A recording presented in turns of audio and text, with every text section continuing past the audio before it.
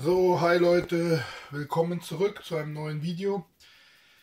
Ähm, es ist jetzt mittlerweile soweit, dass ich ja die ersten Videos online gebracht habe. Also ihr kennt mittlerweile, zumindest wer sie sich angeschaut hat, die ersten drei Videos. Wir haben den 15. Juni 2016 und ja, dieses Video ist jetzt quasi das erste, was ich jetzt äh, wieder aufnehme, nachdem ich jetzt überhaupt die ersten Videos öffentlich gemacht habe. Ich habe leider noch kein Stativ. So viel mal zu den noch geplanten Verbesserungsvorschlägen. Das sollte aber jetzt die Tage ankommen. Das heißt also fürs nächste Video sollte es eigentlich schon dabei sein. Ich werde soweit versuchen, dass ich mir so die Kritiken und die Verbesserungsvorschläge zu Herzen nehme und jetzt gucken wir mal, inwieweit ich das umsetzen kann. Ich habe wieder ein paar schöne Kartons hergerichtet.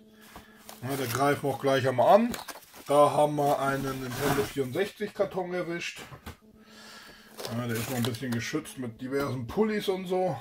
Weil mir sind tatsächlich irgendwann die Luftpolsterfolien ausgegangen. Und die ganzen Spiele befinden sich zusätzlich noch in Protektorboxen.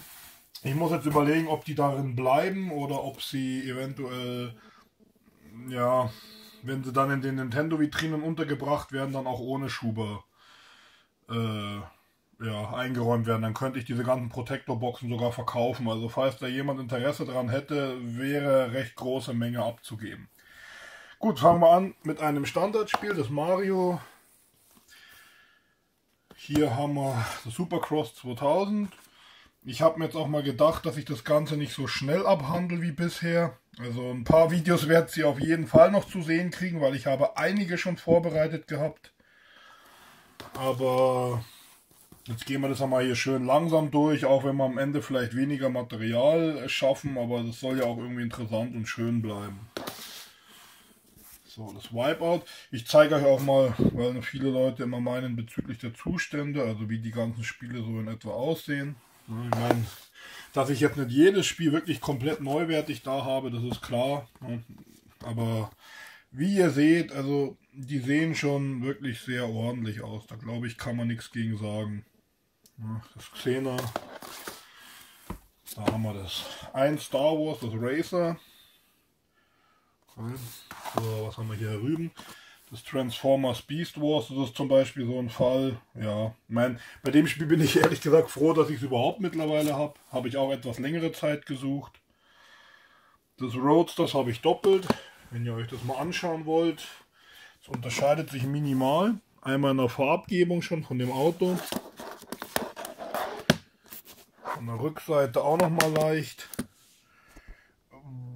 bin jetzt eigentlich nicht der Mensch, der jetzt hier auch noch diverse äh, Länderversionen jetzt sammeln muss. Ja, ich jetzt im PAL-Gebiet jetzt meine ich mal, ne? also US und Japan, das wäre jetzt noch was anderes, aber bei dem, ich wollte es irgendwie behalten.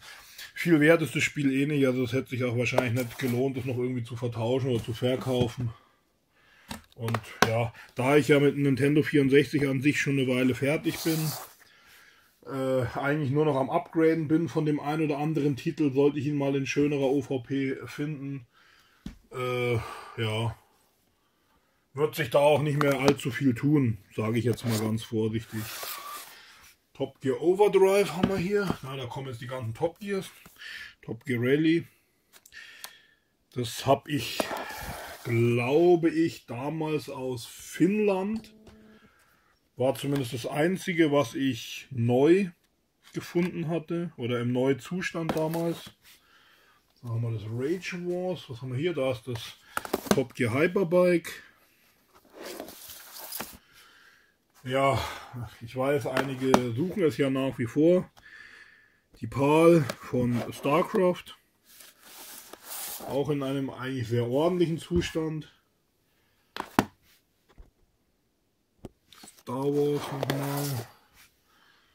Was kommt hier? Dann muss ich mich schon wieder schauen, wo ich die ganzen Sachen hinlege. South Park. Da kommt dann mein StarCraft nochmal in der US-Version. Hm, sieht, sieht eigentlich sogar nochmal einen Ticken besser aus als die PAL. Und nochmal ein Star Wars. Ich mag die Spiele nicht, ja. Aber die OVPs sind zumindest irgendwie schick. Machen wir noch den Rayman. In der Ecke versteckt sich noch der Shadowman. Ich glaube, das ist jetzt die deutsche Version, ja.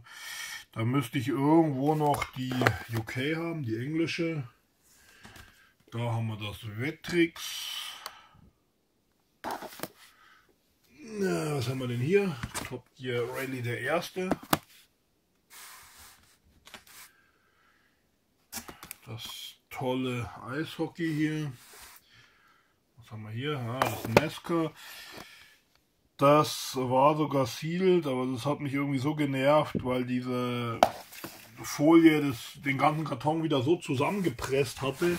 Das sah einfach nicht schön aus. Ich habe es kurzerhand einfach aufgerissen mag der ein oder andere die, die Hände jetzt über den Kopf zusammenschlagen, aber mir ist das eigentlich relativ egal. Ich bin ganz ehrlich, wenn ich jetzt, wenn ich kann, versuche ich die Spiele immer nicht Ziel zu kriegen, weil was bringt mir das Ziel? Das ist wieder so eine endlose Diskussion, aber ich finde es blöd. Also ich möchte wenigstens äh, ans Modul, an die Anleitung rankommen. Ich möchte zumindest, wenn ich die Zeit habe, die Möglichkeit haben, das Spiel mal zu spielen. Also Allerdings habe ich mir auch abgewöhnt, in den letzten 15 Jahren habe ich so viel aufgerissen, also so viele Sealed-Spiele am Dreamcast, am Jaguar, am weiß Gott wo überall.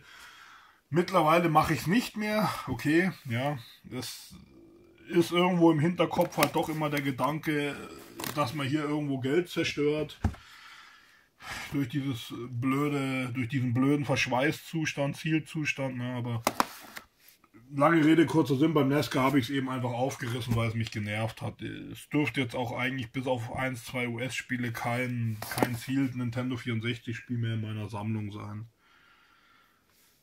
Da haben wir, ach Gott, ja, Zelda. Äh, um diese Version, dieses Exemplar zu bekommen, glaube ich, hatte ich das Spiel sechsmal gekauft. Der ein oder andere erinnert sich vielleicht noch an das Facebook-Foto. Also das war eine ziemliche Tortur in einem wirklich astreinen Zustand. So, ja, und zu guter Letzt nochmal so ein kleines Highlight. Ich bin ja auch richtig froh, dass ich es habe, auch wenn der Zustand vielleicht nochmal eine Nummer besser sein könnte. So würde ich ihm jetzt eine 2 bis 2 Minus geben. So, Karton kommt weg. Den hauen wir jetzt nochmal hier in die Ecke. Dann wir vielleicht an den kleinen hier oben. Äh, ne, jetzt schieben wir mal hier rüber, gehen wir mal da noch ran. Wir sind schon wieder sind schon wieder fast bei den 10 Minuten. Ah, die Xbox 360, das ist die allererste gewesen, die ich damals zum Release gekauft habe. Das war bei uns in GameStop direkt um 0 Uhr. Da haben die extra das komplette Kaufhaus geöffnet gehabt um den ganzen Vorbestellern ihre Konsolen zu geben. Ja, die Gears of War Edition. Da haben wir einen Hello Kitty Dreamcast, wo dieser tolle Henkel schon wieder verrutscht ist. Ich weiß auch nicht, wieso der nicht einmal in Position bleibt. Der dürfte ja auch mittlerweile bekannt sein in Blau. Der Microvision Somit ist der Karton auch leer.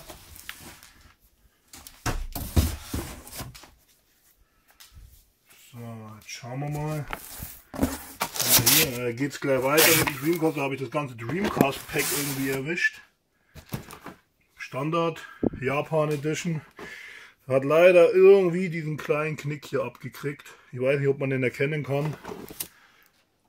Ansonsten ist das Ding 1A wirklich wie neu der R7. Den stellen wir auch mal hier rüber. Ein bisschen eingestaubt. Ja, sagt nicht viel aus der Karton, gell? Hier haben wir das Karaoke-System für den Dreamcast. Habe ich allerdings noch nie benutzt. Keine Ahnung, wie das funktioniert, ob es noch funktioniert. Ja, da haben wir irgendwie nochmal einen blauen Hello Kitty. Komm her. Da kommst daher. So, ist der nächste Karton leer. Jetzt sind wir bei knappen 10 Minuten. Wisst was? Ich glaube, wir greifen uns noch irgendeinen. Ich muss nur mal irgendwie schauen, welchen. Hier habe ich aller Wahrscheinlichkeit nach nochmal Konsolen drin. Ja. ja, dann sind wir halt heute recht konsolenlastig. Der Amstrad GX4000 Ebenfalls komplett neu, das gute Stück. Die PlayStation 2 Aquablau. Rüber. Da haben wir noch ein Bladestorm Premium Edition Xbox 360. Das äh, ja, lassen wir jetzt auch einfach mal hier liegen. Gut, da muss ich jetzt leider wieder ein bisschen äh, zugreifen, weil der ist doch etwas schwerer. Der schöne Panasonic Q. Da sitzt da drin.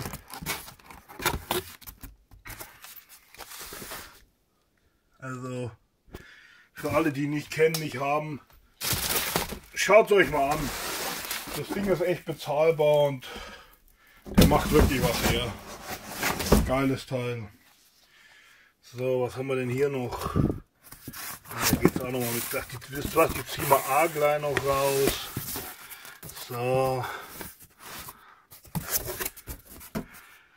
Da haben wir die Xbox One in der Day One Edition, das Bundle mit dem tollen FIFA.